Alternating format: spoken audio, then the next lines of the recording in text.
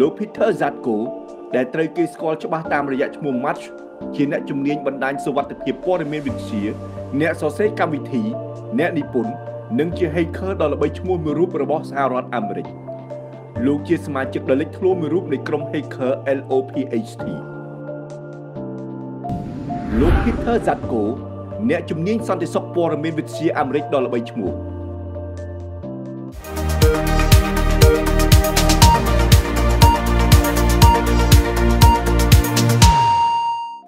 ឡុងពេលចូលរួមជាមួយក្រុមនេះលោកបានចូលរួមចំណែកយ៉ាងសំខាន់ដល់ការបង្ហាញនិងការអប់រំស្ដីពីភាពងាយរងគ្រោះនៃប្រព័ន្ធសុវត្ថិភាពនិងព័ត៌មានលោកក៏ជាអ្នកបង្កើតកម្មវិធីបំបែកកូដសម្ងាត់ LOPHT Crack នៅក្នុងឆ្នាំ2010លោកបានទទួលយកតួនាទីជាអ្នកគ្រប់គ្រងកម្មវិធីនៅទីភ្នាក់ងារស្រាវជ្រាវនៃក្រសួងការពារជាតិសហរដ្ឋអាមេរិកនៅឆ្នាំ2013លោក Peter Zatko បានបម្រើការងារឲ្យក្រុមហ៊ុន Google ក្នុងផ្នែកគម្រោងនិងបច្ចេកវិទ្យា នៅឆ្នាំ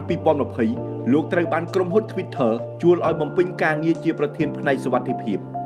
តើកំពូលអ្នកជំនាញសន្តិសុខព័ត៌មានវិទ្យានិង hacker វ័យ51ឆ្នាំរូបនេះមានប្រវត្តិយ៉ាងណាសូមអញ្ជើញទស្សនាវីដេអូនេះដូចតទៅប្រវត្តិកាលពីកុមារភាពរបស់លោក Peter Zatko មិនត្រូវបានគេដឹងច្រើនឡើយ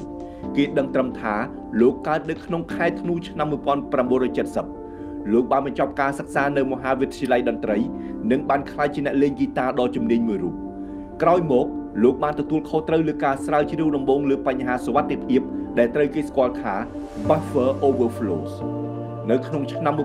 1995លោកបានបោះពុម្ពផ្សាយសៀវភៅមានចំណងជើងថា How to write buffer overflows លោកបានបោះពុម្ពផ្សាយសៀវភៅអំពីការផ្ដល់ប្រឹក្សាផ្នែកសុវត្ថិភាពនិងការស្រាវជ្រាវមួយចំនួនដែលបង្ហាញពីភាពទន់ខ្សោយនិងភាពងាយរងគ្រោះនៃប្រព័ន្ធសុវត្ថិភាពក្នុងប្រព័ន្ធប្រតិបត្តិការកុំព្យូទ័រ Unix ដូចជាបញ្ហាកូដ ការវាយប្រហារលើផ្នែកព័ត៌មាននិងការលេចធ្លាយព័ត៌មានជាដើម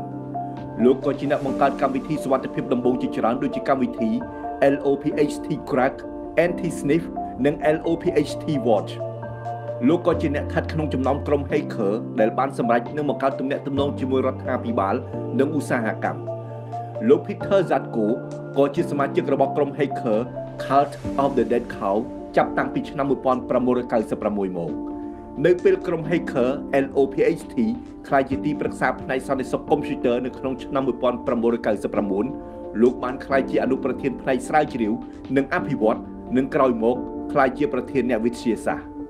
នៅក្នុងឆ្នាំ2000បន្ទាប់ពីមានការវាយប្រហារលើប្រព័ន្ធអ៊ីនធឺណិតជាលើកដំបូងលោកត្រូវបានអញ្ជើញឲ្យជួបលោកប្រធានាធិបតីអាមេរិក Bill Clinton នៅឯកិច្ចប្រជុំកំពូលផ្នែកសន្តិសុខជាមួយនឹងសមាជិកគណៈរដ្ឋមន្ត្រីនិងនាយកប្រតិបត្តិឧស្សាហកម្មជាច្រើន។ នៅក្នុងឆ្នាំ2004លោកបានក្លាយជាអ្នកវិទ្យាសាស្ត្រនៅក្នុងក្រុមហ៊ុនម៉ៅការរបស់រដ្ឋាភិបាលឈ្មោះ BBN Technology និងបានចូលរួមក្នុងក្រុមប្រឹក្សាបច្ចេកទេសនៃបណ្ដាញសុវត្ថិភាពព័ត៌មានវិទ្យា NFO Security នៅក្នុងឆ្នាំ2010លោក Peter Zatko ត្រូវបានប្រកាសតែងតាំងជាអ្នកគ្រប់គ្រងគម្រោងនៅទីភ្នាក់ងារស្រាវជ្រាវនៃក្រសួងការពារជាតិអាមេរិកដោយលោកត្រូវទទួលខុសត្រូវលើកិច្ចការស្រាវជ្រាវផ្នែកសន្តិសុខអ៊ីនធឺណិត នៅឆ្នាំ2013លោកបានប្រកាសចាកចេញពីទីភ្នាក់ងារស្រាវជ្រាវនោះនិងបានទៅបម្រើការនៅក្រុមហ៊ុន Google នៅក្នុងឆ្នាំ2015លោកបានប្រកាសនៅលើបណ្ដាញសង្គម Twitter ថាលោកនឹងចូលរួមក្នុងគម្រោងមួយឈ្មោះ Cyber UL ដែលជាអង្គការធ្វើការសាកល្បងសម្រាប់សុវត្ថិភាពកុំព្យូទ័រដែលបំផុសគំនិតដោយមន្ទីរពិសោធន៍ Underwriters និងគ្រប់គ្រងដោយសេតវិមានលោក Peter Zatko ធ្លាប់ឈ្នះពានរង្វាន់ជាច្រើនអំឡុងពេលបំពេញការងាររបស់លោក។ នៅឆ្នាំ2013លោកទទួលបានពានរង្វាន់ Secretary of Defense Exceptional Civilian Service Award នៅឆ្នាំ2011លោកជាប់ឈ្មោះក្នុងបញ្ជីអ្នកជំនាញសន្តិសុខព័ត៌មានវិទ្យាកម្ពុជាទាំង5ប្រចាំឆ្នាំរបស់ទស្សនាវដ្តី SC Magazine